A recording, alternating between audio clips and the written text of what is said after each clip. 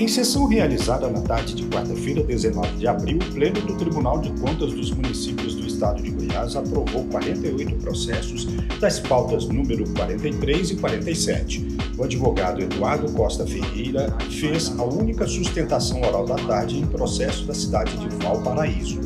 A sessão remota contou com a participação de todos os integrantes do colegiado, o presidente Joaquim de Castro, o vice Daniel Goulart, os conselheiros Francisco José Ramos, Fabrício Mota, Valcenor Braz, Sérgio Cardoso e Humberto Ardar, os conselheiros substitutos Flávio Luna, Irani de Carvalho Júnior e Maurício Azevedo e o procurador-geral do Ministério Público de Contas, Henrique Pandim. A sessão foi transmitida ao vivo pela internet e acompanhada pelo Twitter. Para rever as deliberações é só acessar o canal do Tribunal no YouTube e mais informações na TV Assembleia. TCM, o Tribunal a Serviço da Sociedade.